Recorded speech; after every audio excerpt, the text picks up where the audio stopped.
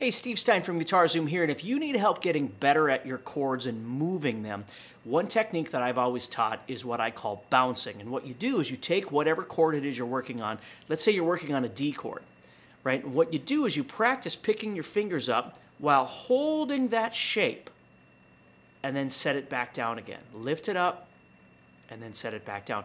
And you do that over and over and over to train your fingers with muscle memory to make the shape that you want.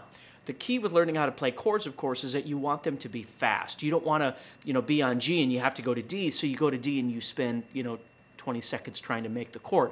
You want to make that chord at once. So if you want D, there it is. Or A, there it is. Or G, there it is. You want it to be one motion. And the way to do that is just to practice bouncing over and over and over, lifting those fingers and setting them back down. All right, so take care, stay positive, keep practicing, and check out my premium courses at guitarzoom.com calm.